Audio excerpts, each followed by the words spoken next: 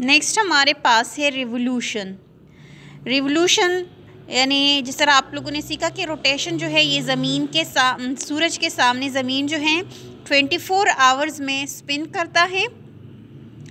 तो रिवोल्यूशन जो है, ये बिल्कुल सूरज के इर्द गिर्द चक्कर लगाता है। इसको रिवोल्यूशन कहते हैं। और ये एक चक्कर कंप्लीट करने के लिए ज़मीन जो है, सूरज के गिर्द 365 एंड क्वार्टर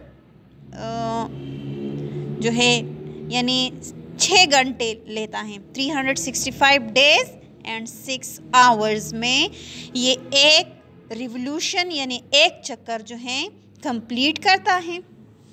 अब हम ज़मीन की ये दो मूवमेंट्स जो हैं, यानी रोटेशन और रिवोल्यूशन इसका ज़मीन पर इफ़ेक्ट क्या होता है? असरात इसके क्या होते हैं?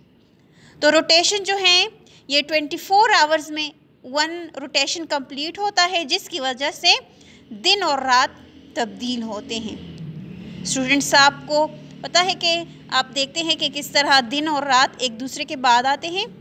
इसी तरह रिवोल्यूशन जो है, इसके ज़रिए फोर सीजन्स जो हैं, यानी साल में आप लोग देखते हैं ना, ये गर्मी, सर्दी और ख़ज़ा व बहार के जो फोर सीजन्स हैं, इस रिवोल्यूशन की वजह से तब्दील होते रहते हैं।